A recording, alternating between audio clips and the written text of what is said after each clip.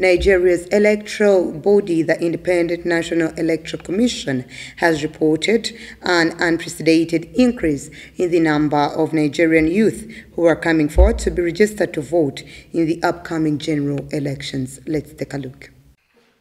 With the outcome of recent primary elections in the country, Nigerians have shown renewed interest in registering, collecting and all transferring their permanent voter cards ahead of next year's general election.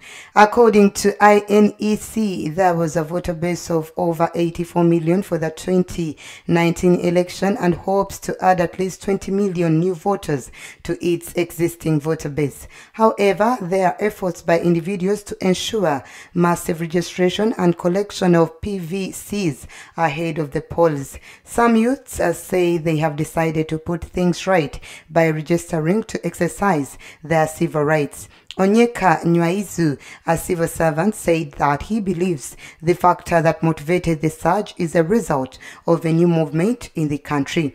A coalition made up of 17 support groups had recently warned the Independent National Electoral Commission against disenfranchising millions of Nigerians ahead of the 2023 general elections. In response to the election body, INEC has extended the closing date for registration to August 31st, 2022.